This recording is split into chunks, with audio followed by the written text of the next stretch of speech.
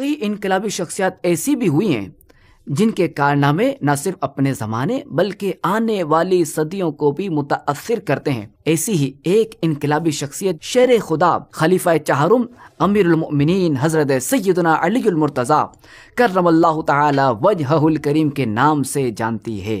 आप रदी को ख़ातमनबीन सल्लल्लाहु अलैहि वसल्लम से बाबुल इल्म, यानी इल्म का दरवाज़ा का लक़ब अता हुआ। आप रदील्ला तु खुद फरमाते हैं, मुझे अल्लाह ताला के आखिरी नबी सल्लल्लाहु अलैहि वसल्लम ने इल्म के हज़ार बाब अता किए और हर बाब से आगे हज़ार बाब खुलते हैं।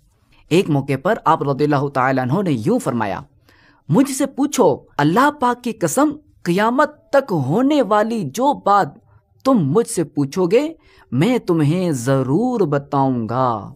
आप रदील्ला तु की कुरान फहमी का ये आलम था कि एक बार फरमाया, अगर मैं चाहूँ तो सूर फातिहा की तफसीर से सत्तर ऊँट भर दूँ। हिजरत की रात, जबकि चारों तरफ़ कुफार तलवारें लिए खड़े थे, आप रदील्ला तु ख़ातमनबीन सल्लल्लाहु अलैहि वसल्लम के बिस्तर मुबारक पर सोए।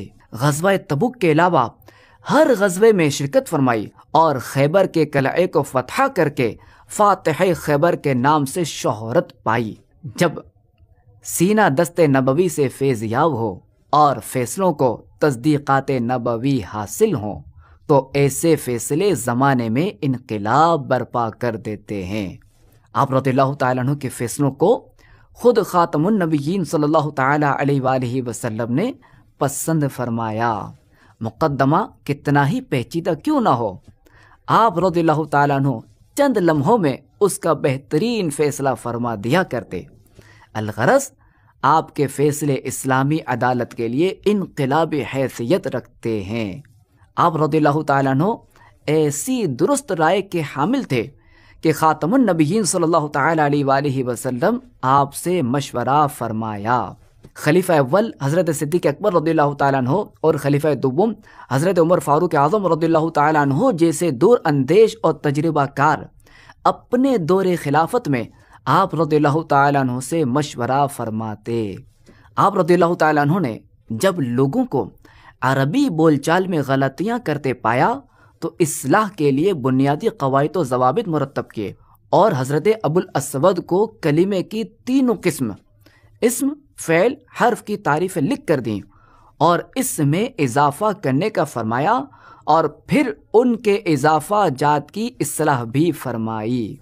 आप रदील्ला तु ने फ़िक के मैदान में भी तारीख रकम फरमाई। पेश आने वाले नए मसाइल को पल भर में हल फरमा देते। कसीर साहब कराम रिदवान फ़िकी मसाइल में आपकी तरफ़ रुजू करते। और कई बार ऐसा भी हुआ कि हज़रत उमर फ़ारूक आज़म रदी तु और हज़रत सैदा आयशा सिद्दीक़ा रदी तहा से लोगों ने मसले पूछे। तो इन हजरात ने भी हज़रत अली रदी तहों से पूछने का फरमाया। इस्लाम दुश्मन खारजियों का सबसे पहले हज़रत अली रदील्ला ने कला फरमाकर मुसलमानों को इनके फितने से महफूज मामून किया। अहद फारूकी में आप रदील्ला तहो ही के मशवरे पर अमल करते हुए इस्लामी सिन का आगाज़ हिजरत मदीना से किया गया। आप ने अपने दौरे खिलाफत में मुसलमानों की खैर खाई के लिए हकूक़ आमा की हिफाजत का भी अहतमाम फरमाया। जैसा कि आम रास्तों को गंदगी से बचाने के लिए बैतुल खला और नालियों को आम रास्तों से दूर बनाने का हुक्म फरमाया। इंसानी जानों के तहफ़ के लिए कानून बनाया। कि अगर किसी के कुआँ खोदने या बाँस वगैरह गाड़ने की सूरत में इंसानी जान तलफ हुई, इंसानी जान को नुकसान हुआ तो जमान अदा करना होगा। अल्लाह तबारक व ताली हमें ऐसी प्यारी शख्सियत, इस्लाम के चौथे खलीफा, हज़रत सैदना मौला मुश्किल कुशा अलीमरतज़ा करमल्ला तजहुल करीम की बरकतों से हमें खूब से खूब माला माल फरमाए। आमीन बिजाही ख़ातमिन नबीन सल्लल्लाहु अलैहि वसल्लम।